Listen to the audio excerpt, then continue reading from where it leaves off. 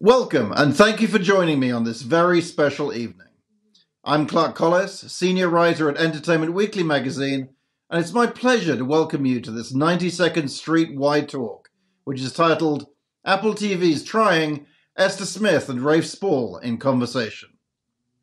Effortless, heartwarming, delightful, heartbreaking, hilarious, charming, and sincere are just a few words that have been associated with this moving comedy that follows Nikki and Jason, a young couple struggling with fertility issues that eventually decide to embark on the journey of adoption. The second season of Trying continues to observe the couple's journey through the process, but explores new hardships as the couple meets a little girl called Princess at an adoption event, only to learn that there are obstacles to their plan that may prove insurmountable. The series addresses very real human experiences ones that are often painful to acknowledge or see portrayed on screen. Written with honesty, meaning, and sensitivity, Trying is, more than anything, a show that reminds us that sometimes laughter is the best way to cope with challenges in our lives. Without spoiling too much prior to this Friday's season 2 finale, I'd like to get this conversation started. Please welcome BAFTA nominee Esther Smith, who portrays Nikki, and SAG nominee Rafe Spall, who plays Jason. Rafe and Esther, thank you so much for joining me uh, tonight at this uh, special event. I really appreciate it. It's such a pleasure. Thanks for having us. Thank you.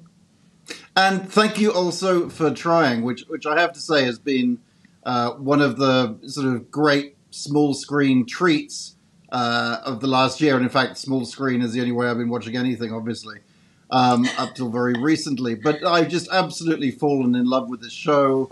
Um, I was watching, I was rewatching parts of it earlier on, and it's just stunning to me how, you know, it really, you know, one minute can be, you know, very, very dramatic, and the next can be, you know, absolutely hilarious, and there are moments that are both. And and I'd like to start off really by by talking about that.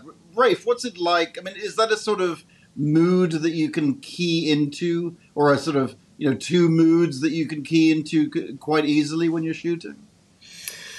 Look, Clark, you know, it's we're only as good as the material that we're reading, um, and the Andy, the writer, who's written every episode, which in this in this modern age is quite a rare feat, because uh, shows like this are generally written by more than one one person, and he's written every single of the sixteen episodes that we've done, and is going to write the next season, and he makes it easy it's uh, as you as you've pointed out, it's a show which um, straddles genres, as it were. So it's uh, it's it deals with something very serious, which is infertility, which uh, from a from a lot of people's point of view is, is is no laughing matter. But the way that he's decided to deal with it is is using levity and humour and um, you know a sort of comedic tone to deal with a to, uh, to deal with a specifically difficult subject. And so for us it's just it's easy. It's easy because that's my experience of life really is that when things are difficult or or dark or tough in my own experience i i, I tend to turn to, to comedy. I tend to turn to um, the light in the dark. I think that's a very human way of coping. And the, and the tone of the show reflects that. But our job's easy because it's it's all there for us, and especially when I'm looking into the eyes of the the incredibly talented Esther Smith, you know, she she makes it easy. I'm only as as good as her, and really my mo on this show, Clark, is to keep up with her, is to like just stay in the stay in the fight, as it were, because she's so she's so brilliant and uh, easy and um, uh, fun to act with and also hang out with. Um, and, and Esther, your character is, you know, as is Rafe's character, you know, uh, fun, um, but also, you know, uh, the show does have these dramatic moments. What, what's it like to, to, you know, what's it like to inhabit uh, your character?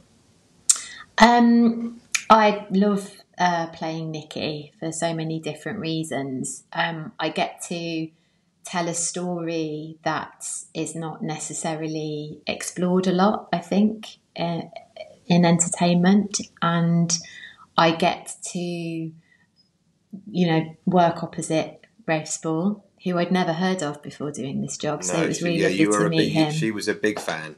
She was a big. she was a big fan, and she was starstruck. Never heard of him. I thought it was his first job, so I was trying to help No, him through. no, she was very aware, Clark, of my entire oeuvre.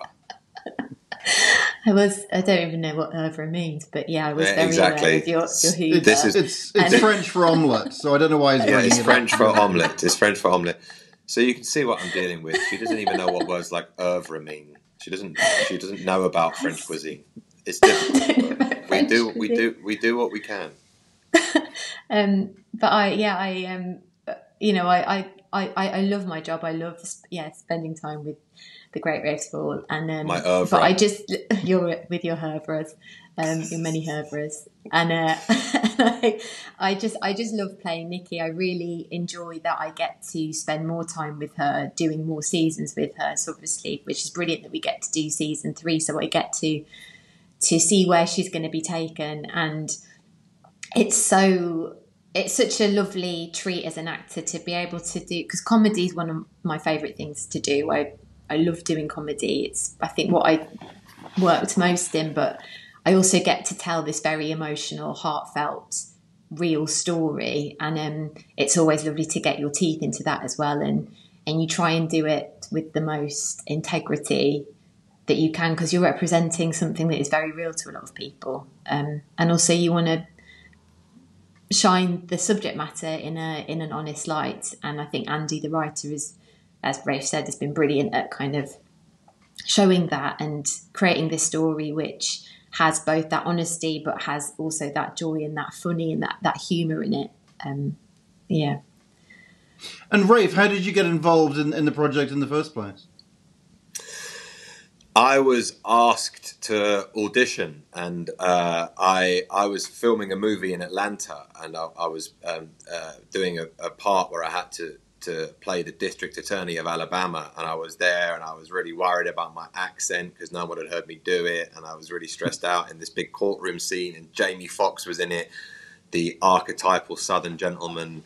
Uh, I was I was doing a I was doing a scene a scene in front of hundreds of extras from the south, and I was really stressed out. And then I got this thing in my inbox about this this comedy for Apple TV Plus, which is set in England, and I was like, God damn it! I get to do my own accent. I'm in.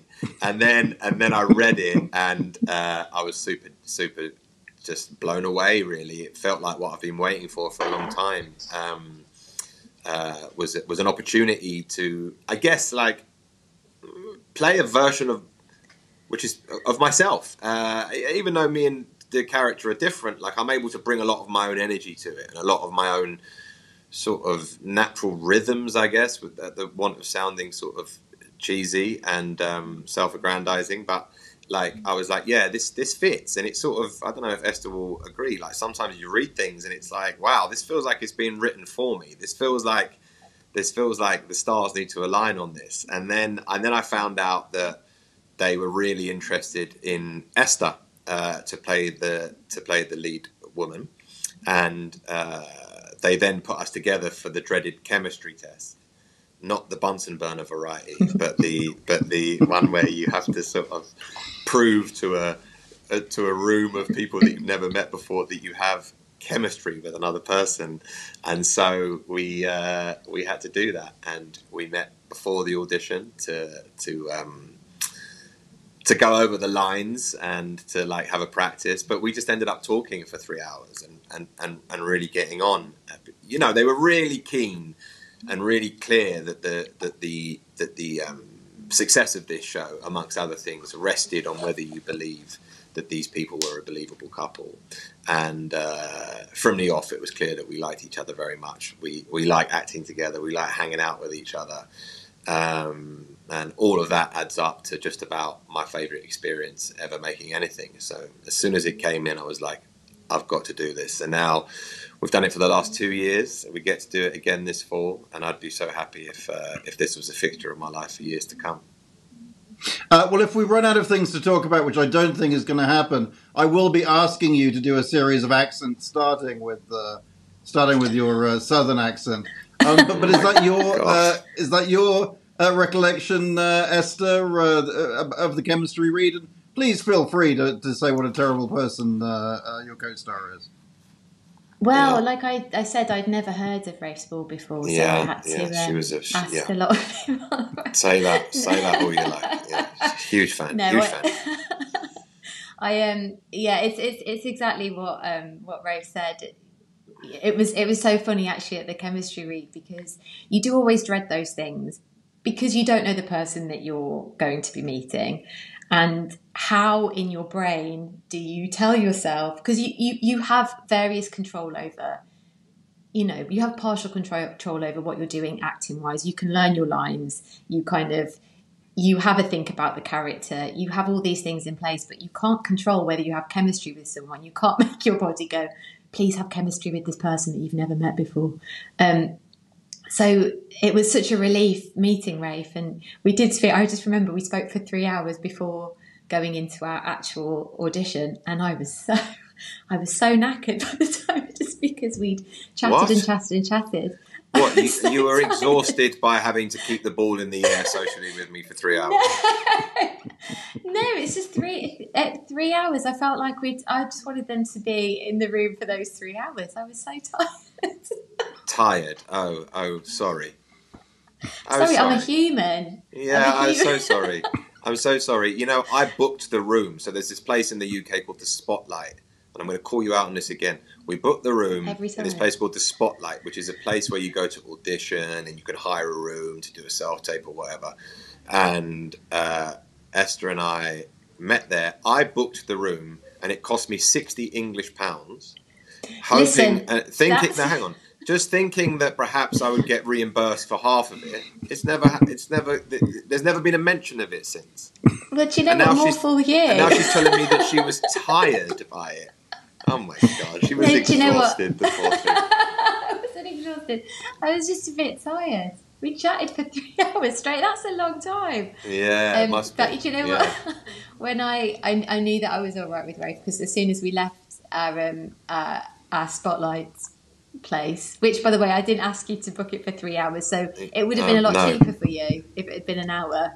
Yeah. So- Okay. I, I thought Uh, I would need it to get the requisite chemistry with you.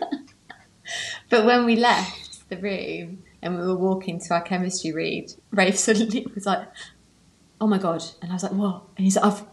I've left my glasses up there, and he hadn't got them on his face, and I just thought, "Oh, you're so yeah, funny." This is a bit of me. It's- Yeah, yeah. I was like, I can get on board with this. Yeah. Um, and you've mentioned the, the creator Andy Walton. Um, could you talk a little bit about him, Rafe, and and I, I guess the sort of personal history that, that he brings to, to to the show? Yeah, so Andy, this is uh, uh, um, Andy is a is a is a British comedy writer, and this is his first big commission, right? This is this is his first first big sort of um, show that he's had on, and, and what a great, amazing platform to have it on uh, uh, in terms of Apple TV Plus. Um, it was a big deal for him, big deal for all of us, and he himself was adopted um, by his parents, and so he's got a lot of skin in this game, you know. And and he was he was very um, look. He doesn't he doesn't wear it on his sleeve. It's not even like he talks about it that much, but you feel like you, you're secure.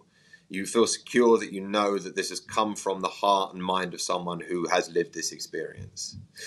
Um, and at the same time, I think that what in a in such a sort of saturated market in a, in a show where there's in a, in a in a environment where there's so many brilliant shows and so many really good comedy shows the things that stick are the things that have an original voice and and um, even though we have influences the show doesn't feel derivative it didn't it didn't feel derivative when I first read it and it doesn't when I watch it it doesn't when I perform it even though it has echoes and of, of other shows that we love it feels fresh. It feels original. Um, it's uh, about a specific tranche of uh, of UK culture that doesn't really get represented. By which I mean people that don't necessarily have fancy jobs or a lot of money or a great house. They're normal folk, and I really like the fact that that he had chosen to set this story, a story which was going out on a platform across the world in a very specific tranche of UK society. And I thought that was that was really amazing. So he's just really fresh and clever. And you know what? Like I watched the show now, and there's even jokes that I missed when I was doing it. I don't know if you think that, Esther. Like there's like little, there's really cute little tie-ins and really clever things and jokes that he sees all the way through an episode that I didn't even notice when I was doing it. And I, I'm like, wow, he's really clever. I even emailed him the other day. I was like, Andy, forget everything I said. You're really clever. Um, no, I love the specificity of the show, and part of it is that it's a very specific um, part of London in, in, in which it's set. And even though, um, I mean, when I lived in London, I lived in, in South London, and I feel the only thing that could have really improved this show is if it was set in South rather than North London. but um, you know, I'm like, oh yeah, I know that, I know that place, I know that place, and it's obviously not. You know, you think of American films set in London where they all, they only seem to race around Buckingham Palace. This is like the opposite of that. It's all the bits you Mm. don't see, but but also the bits that you know I, I love in London. And and and and Esther, that must be. I mean, I guess it must be convenient convenient to go to work, but but you know, it, it's just so great that it, it sort of shows London off like this, and and and a part of London that people don't see necessarily that often. Yeah, absolutely. And I think because it is on this global platform, we get to, to show bits of London that when you live here, you, you really know and you really love, like, I guess, the Heath, like Hampstead Heath or Primrose Hill. And, um, but you do also get those pockets, you know, like Camden. You see Camden in a very specific light. And, but you, but you're right, like being able to film in the place that you live is very convenient and lovely because it makes the trip into work a lot easier and nicer. But even still, London is a huge place. London's massive. And like you said, like, you know, being South London, I'm South, I'm Southeast at the minute, and um, you've it's just full of all these different little pockets. And I'm not originally from London, so I'm constantly refinding or finding, sorry, and exploring and um, experiencing different bits of London. And it, it feels like it's never, it, it's continuous, it's, it's never ending, which is one of the joys of it. And how lovely to be able to show that on a global platform to people. Um, yeah, it's uh, it's lovely and just a joy to a joy to film on Hampstead Heath and those kind of places. And Rafe, um, season two was shot uh, after the start of the of the pandemic, which I imagine must have been a very uh, a dramatically different shooting experience from, from season one. Could you could you talk about that a little? Yeah, you're absolutely right. So we so we shot this show um, September last year, which meant that we were one of the first shows back into production in the UK, and you know, obviously, COVID security was paramount. We were we were the the makers of the show, the producers, the network were extremely um, on that, and everyone felt secure uh, in a quite scary time uh, for a lot of people. But the resounding feeling was is that we were just all so pleased to be back at work, Clark. We were like, you know, we we this show came out at the beginning of the pandemic when everyone was locked in their houses, and we knew we'd been commissioned again, and we didn't know when we were going to get to come out and do it, and uh, it was it was a worry because because we love it, man. Like we really, really love making it, and it's not just you know I said earlier how much I love Esther, and uh, but the whole team involved, the crew members, all of these people, these people that you become your family for a while and that you really love. And, and I know that sounds sort of like a bit sentimental, but it's true. And then you get to come back together again to have fun and to, to, to, to do a show that you, um, that you really, really care about and um, that you really uh, believe in. So, yes, there was COVID security. Yes, everyone had masks on. There was social distancing and testing, but it was. I don't think the quality of the show was ever compromised, which I'm which I'm pleased about. You wouldn't know when you watch the second season. You wouldn't know that it was shot during a pandemic. No, I had no idea at all. Although I guess idiotically, I was thinking I would know a show that was shot during the pandemic because people in hazmat suits would be like wandering around in the background as No, I know, no. or whatever. Yeah, no. Thankfully, everyone was able to take their hazmat suits off, do a take, and put them back on. Um, and as to this, as far as the, the plot is concerned in season two, I mean, season one, series one was about um, you know them them putting themselves in a position where uh, they could adopt uh, a child, and now this this season has been um, you know about them actually trying to do that. How, how has that been different for you? Yeah, so this season is about us getting uh, matched with a child. Um, and that's equally having learnt it from doing the show it is is, is an equally hard and uh, up and down journey as trying to be approved to be adopt uh, to, to, to, be able to adopt so to try and get max, a match to a kid there um there's a lot of competition and you still need i guess the from the kids point of view they're they're the most important thing they're the main thing you need to be the right fit for them. It's not about you just because you've been matched with a child that you get to have a child. Um, it still needs to be right, and their kind, of, their their safety and security and their their wants and needs are paramount, really. So we so there's a lot of ups and downs within this season with that. Um, they find a couple of kids that they're hopeful for, and it doesn't work out, and then they find one particular child who they fall in love with, Princess and they are so certain that that is their child. But as you see through the se- season, it's not as simple as that. And I think when you fall in love with someone, fall in love with something, the fall's greater because you want it more, because you think surely everyone else can see that that is the right thing, that is the right fit. And it doesn't necessarily always go your way, and, and they have to learn a lot of lessons through that. And so that's um, that's been a real uh, joy to uh, present that side of the story um, because when it does work out in places, it's so um, it's just so beautiful and and I think you just realise the the stakes of it, and so when it works out, it's just you know you're like thank thank God for, for them and for people going through this experience and this journey. It's um it's really hard and tricky um and at times heartbreaking and i guess that's uh, yeah that's been the season two experience with it um but obviously with a lot of laughs as, as well it's still a comedy um, very much yeah. so uh, we actually have a clip of i think it's the first moment that uh, your characters um, uh, meet princess or see princess uh, and, and I'd quite like to uh, I'd quite like to play that now.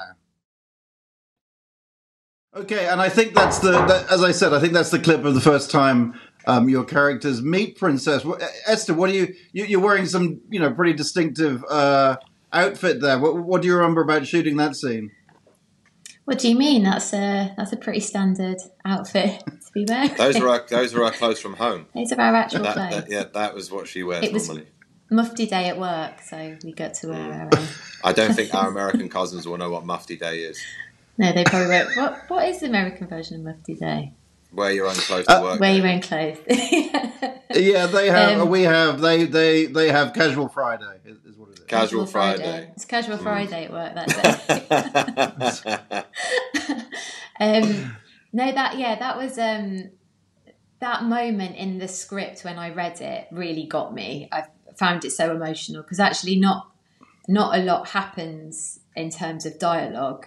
It's all moment to moment, like beat by beat, and just understanding what that moment meant for Nikki with um, seeing what she deems to be their child for the first time and the weight of that even like from the script that just that landed with me and so filming that you know it was um really moving. And, and Eden, who plays Princess, she's just she's such an incredible little, little actress. She's so um, thoughtful, and she she really understands. I think what what it's about and, and what it means, and and just kind of seeing her with her Bob the Builder outfit on next to a tree. It, I just it just it just broke my heart. But obviously, inevitably, there was um, you know, there's always that pressure of trying to get those scenes right because you understand the weight of them. So that day for me was very, I was really nervous to film that scene because because because I think because it meant so much to me and because I understood that it meant so much to the rest of the story, you can't help but put a bit of pressure on yourself, which is so unhelpful at times. Not at times, all the time. It's so unhelpful all the time to put pressure on yourself. Um, so you really have to find a way to bat those thoughts away and just kind of do it and just be in it. And um, I think it's um, a really lovely moment in the series. I think, yeah. And you have this, um, you know, the uh, the rest of the cast is is absolutely fantastic. But I, I if I may, um, I'd like to mention uh, Imelda Staunton, who is who is both. Uh, you know, UK acting royalty, and now, in fact, actual royalty, uh, going to be playing, going to be starring in in The Crown. Rafe, did you had you worked with Imelda before? I'd never worked with Imelda. Um, my dad, who's an actor, he, he had many times, um, and uh, had given her a very good report before before before we met her. But you know, I think um, I think when we both found out that she was going to be in the show, we were really excited and sort of um, yeah blown away because, as you say, she she is royalty uh, in the acting community. She's she's as good at acting as it's possible to be and and as good an actress as she is, she's an equally great person. And um, I think Esther and I always look forward to those days when she came in because not only is she such fun to be around, like she's a real laugh. She's a she's silly and fun and um, all the things that like acting should be. It should be a laugh because because we put other people's clothes on, clothes on, put makeup on, and pretend to be other people. Sure, it's a serious business, but that seriousness it should be kept private, in my opinion. Uh, but when the camera turns on, oh my goodness, she's so impressive, and we. She's usually got a, a lot of dialogue in the scenes and a lot of props that she's fiddling with, and it's um, at the want of sounding sort of trite. It's a masterclass it's a real acting masterclass. Just to see the way she goes about her work is extremely impressive. She's so light, so she'll have reams of dialogue, loads of props, but she makes it sound feel so easy. And me and Mrs. over it, we just we just sit sit there and, and marvel at it, and um, it's uh, extremely impressive. Although since she's become the queen, she insists on insists that we call her uh, Your Majesty. We have to curtsy when she walks in a room. She's become extremely grand. and what about you, Esther? What's it like working with? I mean, were you were you nervous when when you first uh, uh, uh, did a scene with her? Yeah, I was really nervous actually when I first did a scene with her. For you know, for all those reasons Rafe has just like said, she's she's she's so incredibly talented, and obviously her reputation is is huge as, as this brilliant actress. And I can remember the first scene I did with her, which was just me and her on our own. So I was left to my own devices, which is just just always nerve wracking knowing that's going to happen. And we had like um, it was we were in a Thai food place eating Thai food, and for some reason I just went so quiet. Like my kind of conversation in between, like talking to him between shots it's just like I couldn't I couldn't project out. And then I started talking about jellyfish for some reason, and I was just like, why am I talking about jellyfish?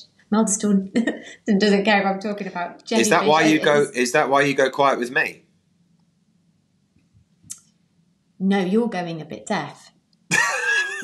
is that is that why you go so quiet with me in between takes? No, you're just you're going a bit you're just going a bit deaf. You can't really hear. Uh, I'm very loud with you. Okay, right. Um, yeah, so I was, yeah, I was very, yeah, I was really nervous, but then instantly she kind of, you know, she just makes you feel at ease and comfortable, and she's just so normal and down to earth, and um, and then yeah. you told her to get in a bin. Then look, she was all, she was also, she's also sort of, oh my god, I was so blown away by the great should be Dame Imelda Staunton, Oscar nominated. But by the second season, Esther literally told her to get in a bin, and she did. she did in a she, trash just... can. she put Imelda Staunton in a no, trash it wasn't trash can. It was a, re- a recyclable. It was. Oh well, that's easy. So there was no food waste in there. and this bin was huge, and I just. She said to her, "Get oh, in the bin." If Imelda can fit in there. she said, "Get, can you fit in there, Imelda?" And she got in it. That's the sort She of person in she it is. without a hesitation. She got in it. And then we had to get her out of it, which was tricky. And Esther, you um, um, sort of hinted, m- meant briefly mentioned this before, but uh, I know that um, you know there are there are uh, quite a few people who are in the same situation as your characters who have reached out to you um, since you since you started appearing in the show. Could, could you talk about that a little? Yeah, so a lot of because I'm on social media, and one of the great things about social media is that you do get that direct contact with people who want to reach out and express an opinion about the show, and quite often I get people that have gone through the process or or who are currently going through the process who feel, you know, just grateful that their story is being told and represented. They feel seen with it, and also that that it, it feels true to their experience, which is always lovely because it feels like a real validation of the show that we're we're putting out. Because we strive to try and make it as you know as real to a situation as possible because that's part of the responsibility as well as you know making it um, as well as you know adding the comedy element to it but particularly this last year when it's a, I think it's a it's a hard enough process as it is, but then having to do that through COVID, what's been really um, humbling is people reaching out saying that they just haven't felt alone with it because obviously we're restricted on what we can do or have been able to do. So like in the show where Jason and Nikki go to these picnics where they're meeting other couples that are going through the same process so you can at least have that community around you because of last year, people haven't been able to have that kind of community around them. I mean, maybe online, but I think that is a different, completely different ball game. Um, so it's been really lovely to get those messages from people who feel like they're not they're not on their own with it. Um, and that what a what a joy to receive that, and um, yeah, really humbling. And Rafe, if I can uh, talk a bit more broadly for a second, you've I mean you've you've done so many different things in your career, um, but you've done a lot of uh, you know relationship based material like trying. Um, but you've also spent you know a fair amount of time running around from dinosaurs and aliens and and so forth. Are they like totally different jobs, or is or do you feel it's the same job? But you know, on a, on a on a literally different different type of stage. So I did um, I did Jurassic Park, Men in Black, and a BBC adaptation of War of the Worlds in a row. And then, so to spend the best part of two years pretending to be afraid of a tennis ball on a stick can, can wear a little thin. And if anything was the opposite of a tennis ball on a stick, it's Esther Smith. And that's the nicest thing I can say about you. Um, it, it is different. It's very, very different. I'm very lucky to be able to do both of those things, and um, there is a particular sort of fulfillment and fun you get as a performer doing those things. In so much as you're on those huge sets and you're like, man, my kids are going to love this. Mm-hmm. And uh, so I thought you meant you're going to be able to put your kids through through an expensive uh, expensive school. There is that. There is also that um, and uh, all of the great things that come with that. And it's really nice to be um, in those huge tentpole movies. I mean, that's what you imagine being in films was going to be like when you were a kid. But really, my heart, my uh, sort of artistic interest, the stuff that I like to do, is opposite another human being, exploring the human condition, and uh, that's what I get to do on this show. And that's what I said earlier uh, was that this is what I've been waiting for. Is is to like do a show which is number one the sort of show that I want to watch. This like I would watch trying, uh, and number two, a show which reflects my experience of life, um, and all of that adds up to a really really wonderful experience. And like God, God willing, I get to do big films like that again. But I, I would really be happy just just doing just doing this show for for, for the foreseeable future because I, I, I love it, man. I love it. And Esther, you were in the, the original West End production of uh, Harry Potter and the Cursed Child, and I remember, you know, I was living in America at the time, but I remember, you know, hearing about people basically rearranging their entire, you know, holidays to, to go and see it. What, what, what was that experience like? I mean, that was an experience like no other, and I don't think I expected it to be the experience that it was.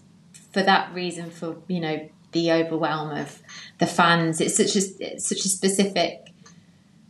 Well, it's, it's it's a huge franchise, isn't it? And the fandom are massive, and we were I think we were all a bit scared at putting it on onto the stage to put it in a theatrical uh, light, and um, that first preview was like just overwhelming. People, I've never been in a theatre doing a play where the audience have been at times more vocal than the people on stage. It felt like we were at a, a concert, and the um, yeah, the kind of the standing ovation at the end and the noise from that is genuinely um, something that I feel really. It was like it, it, it was a it was a hard job because because of the nature of what it means to be part of that franchise and trying to um, kind of uh, give great integrity to a story that means a, a, lot to so many people. And also, it's a it was a two you know a two show, so like three hours for one show, three hours for another show, and the story goes over these two parts. So it was a real big beast, and there was a lot of like magic. There was a lot of stunts. I was kind of on wires for most of the time, um, which was a, another brilliant experience.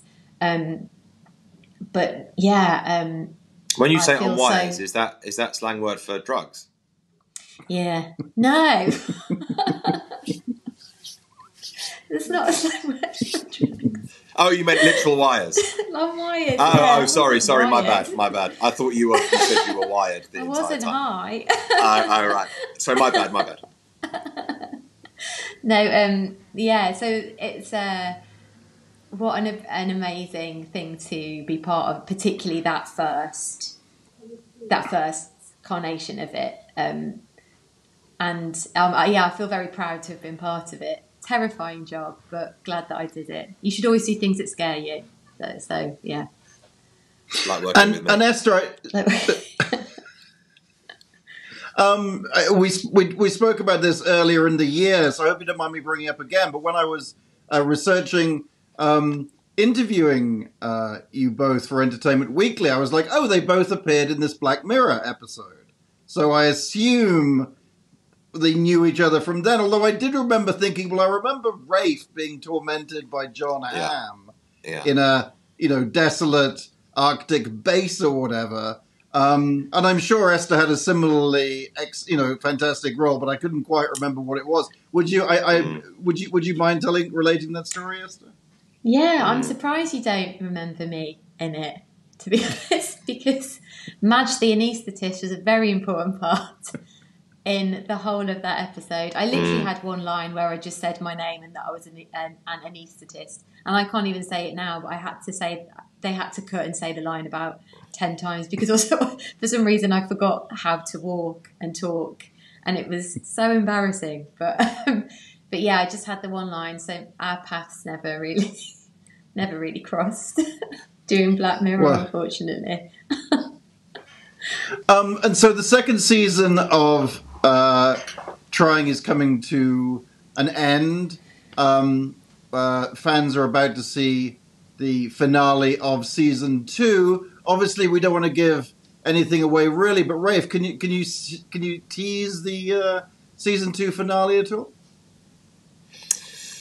Gosh, what little teasers can I can I give? I think that the audience will be satisfied and will be um, also all geared up for a third season. You know, I think that's what great. I think mm-hmm. that's what great season finales do.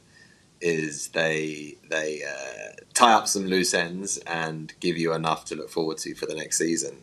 Uh, so, as you know, um, the season is uh, is about them finding their one, finding their kid, and uh, the the the the approval of that is difficult, and so there is a there is a resolution, but it isn't what you expect, and uh, it's surprising and beautiful and moving and funny. All of the things that I think the show is, and uh, we we know as much as anyone else does at this point, apart from the fact that we know what happens in the last episode. But we don't know what's going to happen in the third season. We're waiting with bated breath for the scripts.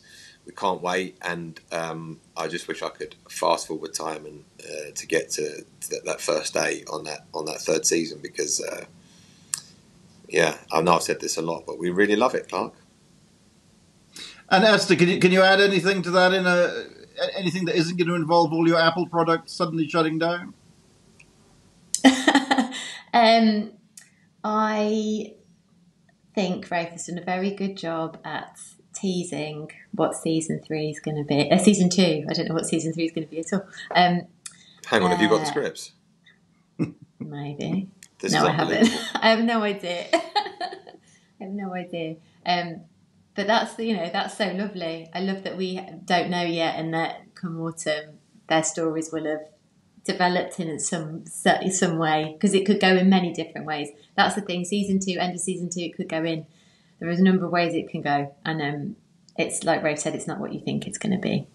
But you know what's amazing is, is that again I said it before that this that Andy is there like writing eight episodes by himself, man. And in this day and age, like I don't know that many people who have who have written sixteen eps in a row. Uh, it's a real and, and another eight. It's really really impressive.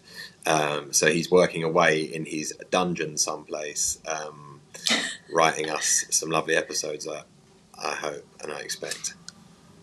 And we're running out of time. Unfortunately, I, I, I could I could listen to you uh, amiably torment each other all day. Um, but is there, um, when you look back on these two seasons, or even season two, is there what's the sort of day of shooting um, which, which leaps to mind uh, when you think of shooting the show? Rafe, let's let's start with you. Um, there was, there's a few. Uh, you know what? Like I, she looks like she's smiling, like she's got something up her sleeve. But, um, but I, I, I love, I love the scenes in their apartment. So in the last two seasons, what we've done is, is we've, um, we shoot all the exteriors and then we go into the location. Uh, we, we go into the um, studio where we do their their apartment, uh, which people are always very surprised to hear is a studio, which is good because it looks like a real a real apartment. And all the show, all the scenes that me and Esther do there are my favourite because I think it's part of the great merit of the show is these couple in their natural habitat, and I think a lot of the audience watch that and go, "Oh yeah." That's what a relationship feels like. They bicker, they argue, they fall out, but they love each other. They make up. Um, they talk shit on their friends, which I think is eminently identifiable. And um, all the stuff in this, in all the stuff in the, in the in the apartment is really beautiful to do. That's where I think the show sort of lives. Um, so I love doing all that. Um, that yeah, nothing in particular jumps out, but all the scenes that I get to do with her in a in a hot room in a boiling hot in a boiling hot studio are my favourite. What about you, SDS? I well, I I have to agree with that. There, um, I love when uh, Jason and Nikki argue. Actually, I actually think one of the I love all the stuff in the studio for all the reasons that Rafe has just said. But one of my favourite scenes actually is when we're bickering and arguing about their uh, Jason's bike, I knew you were and going to say we're that. uh, along the street, and we have to do a little storm off competition with each other. Mm. I, I, I, I just I just love their um, their bickering because they're just passionate and they love each other and and it's it, they're just they're just so fun to do because you can't help but want to laugh and you can kind of see a little glint in you know Rafe's eye when Mm. he wants to laugh and then you you know you equally want to laugh with it and that yeah I think that's that that really stands out for me that really stands Do you know what? It's it's And what- wi- it's wi- Go on, carry on. Oh no, no, I was just going to say, I'm watching it back. It's you know, I just think it's it's also such an emotional scene because they just they they're both that both their intentions are, are uh, honourable, and they, you know, you can see you can see the argument for both sides of the coin, which is what makes that argument really special because there's no real there's no real winner of it. Um, it's two people just wanting to do the right thing and the good thing, and and but also when I when I watch when I watch the scenes though is like because you spend a lot of time me and Esther are in more or less every scene together and we, we spend a lot of time set sat around whilst they're setting up the shots like talking shit right like talking to each other. So when I watch when I watch the show I know exactly what me and Esther were talking about off camera right? Like I know I'm like oh that was when we were having the conversation about that. That was when we were talking about that.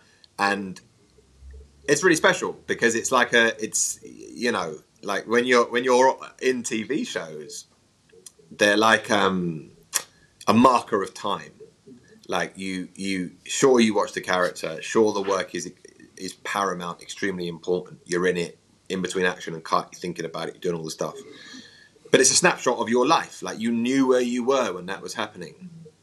And so you knew where you were emotionally, mentally, all those things and that makes watching this show a really sort of profound experience. Everything you ever do, but this more than anything, it's um, and it almost feels a bit like like we want as many people to watch this show as possible, but it also does feel sort of weirdly private. We're like, oh no, like can't, like it feels a bit like this is our like little baby and this special yeah. thing right. that we all went through together, and now everyone's looking at it. It's quite sort of uh, weird and exposing. I well, think particularly folks, I, for this kind of. Oh, sorry, sorry, I was going to no, ramble no, on. I was going to say do. particularly. I think for this, for for this particular show, because because in essence it is quite a private thing between a couple experiencing something very private. So that kind of adds to that feeling of it feeling quite well. It's quite an intimate thing between